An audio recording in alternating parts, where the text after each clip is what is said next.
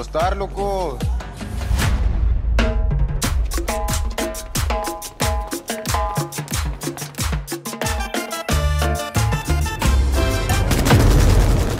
Ya no estoy aquí, es difícil de describir, fue difícil de, mm, de hacerlo cuando se escribió el proyecto y es difícil de hacerlo ahora que se está exhibiendo porque justamente hoy eh, tuve el honor enorme de, escuchar una plática entre Guillermo del Toro y Alfonso Cuarón eh, sobre la película y hablaban de, de que la película malabarea eh, varios temas al mismo tiempo mientras que digamos que te va conduciendo emocionalmente. Lo que yo te podría decir es que es una película que tiene que ver con, con la contracultura, con la falta de oportunidades, con la juventud en México, con la frontera y la migración también, eh, y que tiene que ver mucho pues, con, con la pertenencia, la identidad y la música de cumbia, especialmente la rebajada. La película nace como una respuesta a diferentes inquietudes, ¿no? Por un lado, pues eh, entender que hay más atrás, más, que hay más allá, perdón, de, de ciertas personas que muchas veces muchas otras personas juzgan o prejuzgan. O sea, eh, ¿Qué haríamos nosotros en determinada situación? ¿no? Eh, eran los años de la violencia en México, en la guerra contra, los, contra las drogas, estaba muy fuerte ahí en el noreste de México. Y, y bueno, la, la, la, juventud es un tema esencial porque, porque es a quienes les tocó vivirlo y ser de alguna manera moneda corriente ¿no? entre, entre grupos de poder que estaban eh, peleando el territorio, entre el mismo gobierno con una estrategia que sacrificó mucho pues, eh, a, esta juventud. Y, bueno, la idea de la, de la música como la cumbia rebajada, como una analogía de, de no querer que se detenga la música o que pase el tiempo, porque, o sea, que dure más, porque es, es saber que, que um, tu situación es tan difícil que a lo mejor no hay futuro, ¿no? Entonces mejor que no se acabe, es como solo quiero seguir bailando, ¿no? Eh, no me cuenten qué hay después, no quiero ni pensarlo. Eh, porque en, en, situaciones de marginalidad, como dices tú, eh, la juventud, en mi opinión, dura menos de lo que tendría que durar, ¿no? A los 15, 16 años estás o enganchada con, con las drogas o embarazada o eh, si quieres hacer, todo por, por, por, por, el buen camino, es muy difícil, no hay muchas oportunidades, no hay espacios, hay muchos prejuicios. Entonces la película sí nace como, como en respuesta a, a la forma en la que se había retratado históricamente también eh, la violencia y la glorificación de la tragedia mexicana, latinoamericana, como un producto de aceptación en el extranjero, ¿no? Eh, muchas veces tenemos películas que, que son crudas y, algunas mejores que otras, pero que, que se sirven, digamos, de, de, lo que sucede aquí, pero que yo me pregunto qué tanto buscan conectar con, con la, audiencia de aquí o representar a la audiencia de aquí, de, de quien finalmente nos estamos atreviendo a escribir nuestras historias. Entonces, para mí era súper importante, eh, volviendo al, al punto que mencionas en términos del punto de vista, para mí era muy importante eh, contarlo y poder observar desde, desde la vida de estos chicos, ¿no? De la gente que dice, esto no es Monterrey. En primer lugar, yo no sé cuándo dije que yo quería mostrar una película que fuera Monterrey. De entrada, ni siquiera sé si creo mucho en, en las fronteras, ¿no? Y, eh, que, que, esto sea Monterrey, pues o sea, no, no, creo que haya fracasado en el hecho de representar a Monterrey, porque tampoco quise, o sea, no fue mi, mi tarea ni mi objetivo. En, en, la otra opinión que, a la que te refieres, es muy delicado porque ¿quién puede, quién puede juzgar a la representación y a la, a la representatividad? Yo no creo que nadie más que, la, que, los sujetos representados. Cualquier otro intento de juzgarlo es eh, pretencioso en sí mismo, ¿no? Y es una calificación y un juicio en sí mismo. Entonces he visto algunas, algunas eh, elementos de, de, pues no sé, algunos textos que hablan sobre eso. Particularmente, en realidad solo he visto uno, pero es una plática entre, entre algunos críticos eh, hablando justamente de eso. Y yo lo que te puedo decir es que mi tarea no es representar, mi tarea es, es eh, mostrar una forma de mirar, ni siquiera contar una historia, es mostrar una forma de mirar. Creo que me hago las preguntas duras, eh, como director creo que es nuestra responsabilidad sabernoslas hacer y y yo me hago la pregunta, ¿por qué me atrevo a mirar de esta forma? Y la respuesta que encuentro es que es una película que se construye en dos tiempos paralelos eh, y que cuando hay un presente en, en, Nueva York, el pasado está en Monterrey. y que es un pasado nostálgico y que a través del sentimiento del, del, protagonista puedo quizá romantizar un poco y, dejar ver esta forma porque estoy montado en el sentimiento del personaje, el personaje de ficción. Entonces, de entrada, la representatividad nunca, o la representación nunca es, un objetivo, eh, ¿no? Por otro lado, podría decirte con mucha confianza que, que he tenido, pues ya después de un año de, camino con la película, que una de las cosas que más se les ha, ha, sido celebrada es, uno, por la gente de la película y alrededor de la película y que están en ese lugar, y otra por la verosimilitud o, o la, o la, o la eh, quizá que se alcanza o el realismo, sin que sea un realismo perseguido a través de, del drama con la cámara en mano que te dice qué sentir y, y por dónde sentir. Eh, entonces, bueno, yo creo que, que juzgar la... Hoy en día vivimos unos tiempos complicados, ¿no? Con, con, la, con la, corrección y, el, eh, y el, la cancelación de opiniones, personajes y, y la, las delgadas líneas que, por ejemplo, hace rato venía, hace rato tuve una visita muy interesante a un museo, ¿no?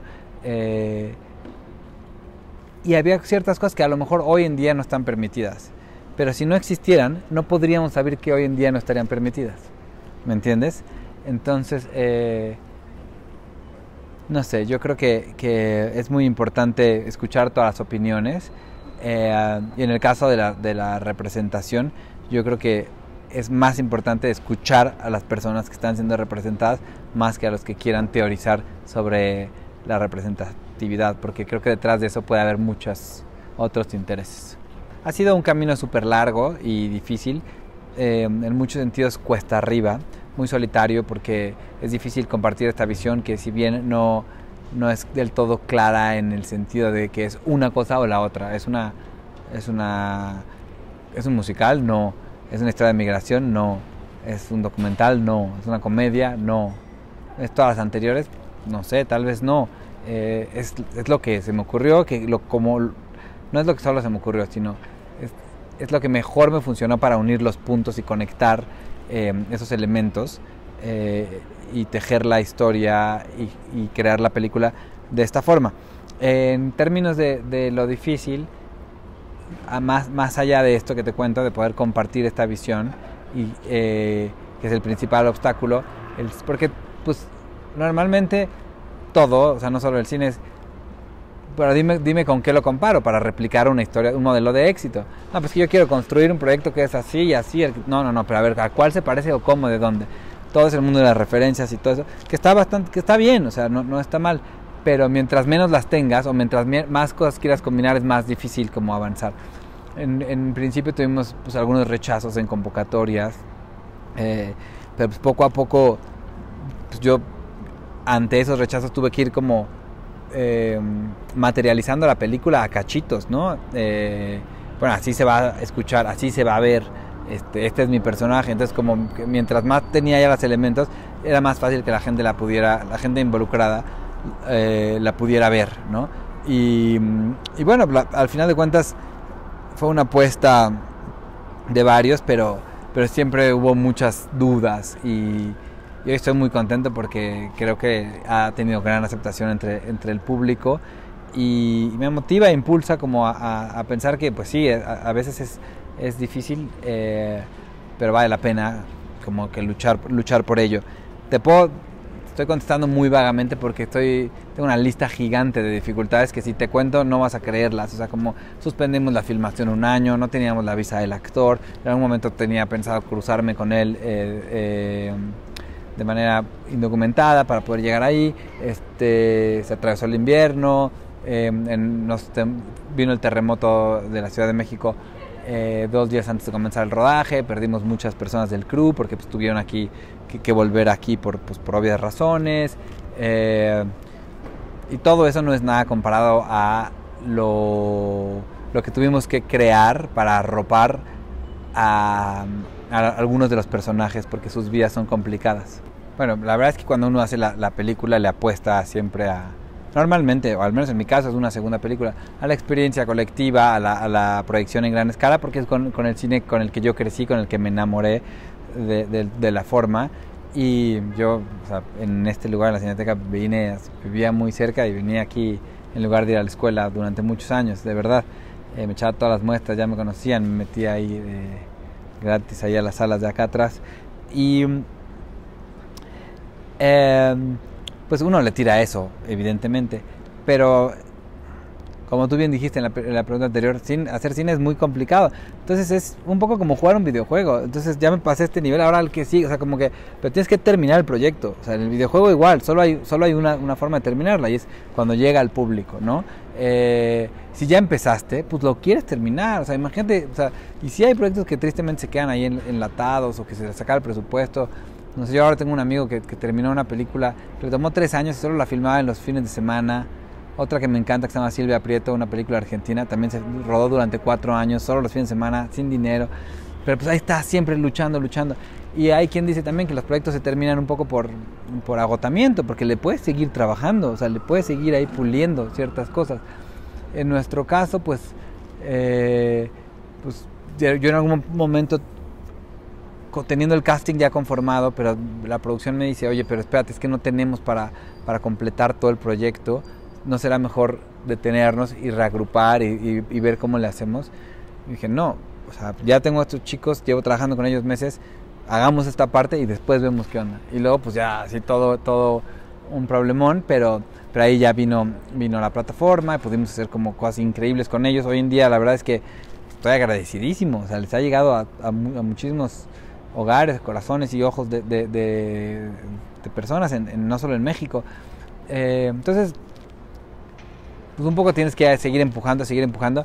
Pero lo que es rescatable eh, de, todo esto, volviendo además al tema anterior, es que nada está escrito, que no hay, no hay, no hay una historia. Y que yo comparaba y yo me imaginaba, no, es que esta película, tal vez por aquí, por acá, esta me inspira, esta me gusta, esta película mexicana, esta película chilena, no sé qué a lo mejor podríamos tener un recorrido similar y si a, si a lo mejor vamos a un festival de, este, de, esta talla internacional y a lo mejor de ahí tenemos una, unas notas de prensa y a lo mejor nos agarra un distribuidor y a lo mejor llegamos aquí y a lo mejor... Y todo eso, a final de cuentas, en este caso, pues no sirvió de nada. O sea, y, la película en sí misma me ha demostrado y me ha, gritado en la cara que nada está escrito, que, que, que es bueno... Eh, por supuesto que tener, tener ambición, pero que las expectativas pues no sirven de mucho, ¿no? En ese, en ese sentido. Eh, tuvimos, fue raro el camino de la película. Ah, hoy en día estamos aquí en la Cineteca exhibiéndola, eh, pero ya está en, Netflix. Eh, el camino de festivales de la película pues fue muy raro. Por un lado no estábamos aceptados en algunos, pero al otro pero al mismo tiempo es la primera vez que en Morelia la misma película gana el premio del público y el premio del jurado. ¿Sabes? Como en el, fuimos en Argentina, tuvimos una, una recepción brutal no sé, muy extraño, nada está escrito de verdad y, y, pues nada, como director lo único que tienes que seguir es empujando y jalando la carreta y en muchos, muchos, muchos pedazos del trayecto es completamente solitario, ¿no? porque llega un momento, se sube alguien, gran colaborador, pum, y te ayuda a llegar de tal punto a tal otro, pero luego es, bien, es complicado y además tienes, tienes gente detrás que está esperando a ver qué pasa con el proyecto, cuándo sale, qué onda. Y el único que se queda y el único que se va a dormir diciendo, tengo este pendiente, es, pues eres tú, ¿no? Hola, ¿qué tal? Soy Fernando Frías de la Parra, eh, director de Ya no estoy aquí. Eh, estoy muy contento porque la película está aquí en la Cineteca Nacional, el lugar que amo, eh, donde crecí viendo muchísimas películas. Y quiero invitar a todo el público a que se den la vuelta.